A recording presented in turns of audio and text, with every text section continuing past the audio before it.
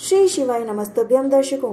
श्राद्ध पक्ष के शुक्ल पक्ष की अष्टमी तिथि को महालक्ष्मी का विशेष आशीर्वाद प्राप्त करने के लिए आपको एक छोटा सा उपाय करना है, क्योंकि श्राद्ध पक्ष में जो अष्टमी पड़ती है, उसमें माता रानी गज पर यानी हाथी पर विराजमान होकर प्रकट होती हैं और उस दिन आप माता लक्ष्मी की विशेष कृपा पाने के लिए एक छोटा सा उपाय करेंगे तो आपके घर धन धान्य से भर जाएँगे।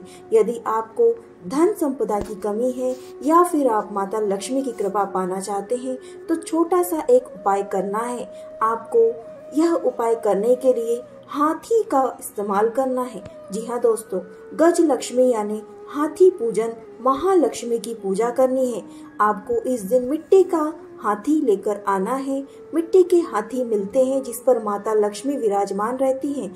ऐसा कई जगह पूजा की जाती है। इस तरीके के आप सोने, चांदी या फिर पीतल तांबे के भी बनवा सकते हैं। हाथी और इनकी पूजा करें। आप कमल गट्टे ज़रूर अर्पित करें।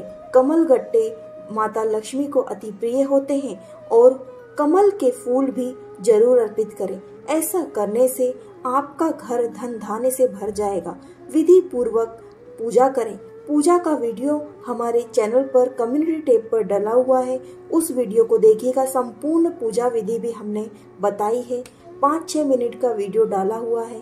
वो पूरा देखिएगा। उसकी पूरे पूजा सामग्री भी डाली हुई है। क्या क्या लगती है, उसे देख करके आप पूजा करें। आपको शीघ्र ही धन की प्राप्ति होगी। महालक्ष्मी अष्टमी के दिन आपको यह उपाय करना है। आपका घर धन धान्य से भर जाएगा। आप हमारे चैनल पर नए हैं तो चैनल को सब्सक्राइब ज़रूर कर लीजिएगा, अधिक से अधिक लोगों तक शेयर कीजिएगा। श्री शिवाय नमस्ते।